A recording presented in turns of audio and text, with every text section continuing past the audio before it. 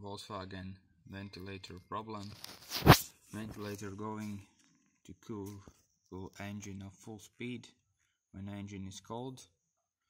You get fault code temperature sensor G62 low signal and I show you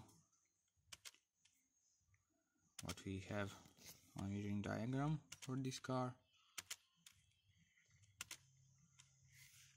and there's two sensors. One of them is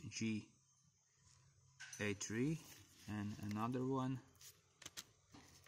is sensor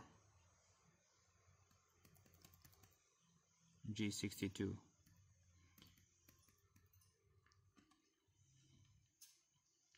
G62 located for this one engine. This one is 1.9 diesel. And the G62 located here. This is the connector. There's two wires here and another sensor is located on the this tube cooling and where is the problem in this time?